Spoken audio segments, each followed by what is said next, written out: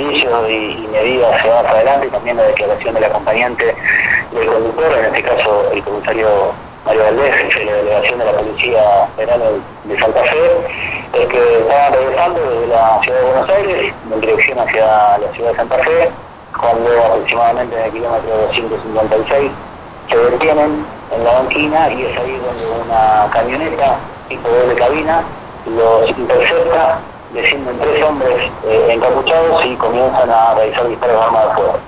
Tanto el comisario como la oficial que lo acompañaba pudieron repeler el ataque y en este intercambio de disparos donde el comisario es herido en la ingle y en uno de sus hombros y aparentemente según lo que tenemos eh, a corroborar por alguna medida es que uno de los atacantes también resultó herido y se da a la fuga.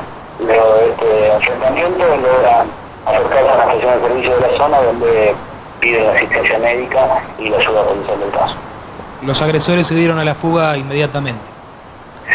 Sí, sí, se dieron a la fuga inmediatamente, después se dio aviso a la Fiscalía de Villa Constitución, en donde se solicitaba rápidamente el ordenamiento de rastros, eh, se pudieron eh, recabar una vaina nueva de milímetros que fueron enviadas a satelitar, también se solicitaron las cámaras de seguridad de los peajes de la zona, como así también la de la estación de servicio, esto es para, bueno, empezar a hacer un ordenamiento de las cámaras para poder hallar la camioneta eh, según algunas características que pudo aportar la declarante y de allí tener alguna línea investigativa un poco más concreta. Recordemos que el comisario aún no pudo declarar, permanece internado fuera de peligro, pero vamos a esperar que los médicos le den el alta para que pueda declarar con, con mayor precisión lo sucedido.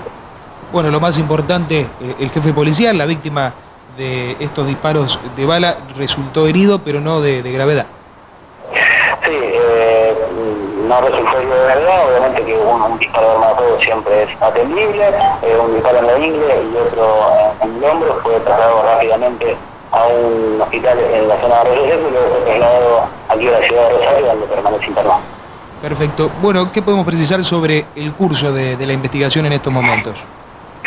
Bueno, lo que tenemos son eh, las medidas que, lo- que le mencioné, se están haciendo relevamiento de, de rastros, como de imágenes, la toma de testimonios primarios del acompañante, obviamente va a ser eh, puesta en consideración y se va a solicitar una ampliación de la declaración, como así también a la espera de la declaración del, del comisario, que eh, por el momento no se descarga ninguna motivación por la cual puede haber sucedido el hecho, recordemos que el comisario no tenía una investigación particular eh, a su cargo, por lo tanto la- las opciones pueden ser varias, pero por el momento no, no descartamos ninguna. Bien la posible línea investigativa del robo no es la más firme, tampoco la podemos descartar en las primeras horas de la investigación.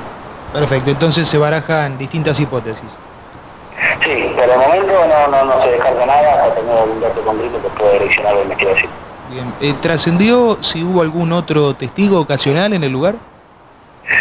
Bueno, momento no, hemos tenido eh, conocimiento de que haya algún otro testigo. Sí entendemos que en esa zona de autopista, aproximadamente a las 8.45, cuando sucede el hecho, había, había gente que transitaba, así que aprovechamos para solicitar si alguien vio algo y puede aportar algo, estaba presente en la Fiscalía de Villa Constitución o se comunica aquí con la Fiscalía en el Centro de Justicia Penal en Rosario.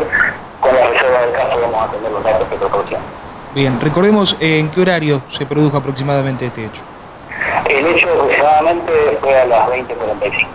Bien, eh, ¿a la altura de qué localidad?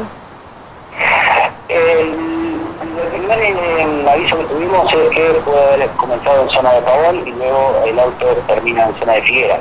Por eso se da aviso primero a la Fiscalía de Villa Constitución, que es la que va a intervenir en primera instancia, y luego se va a definir si continúa aquí en la investigación o continúa en Villa Constitución.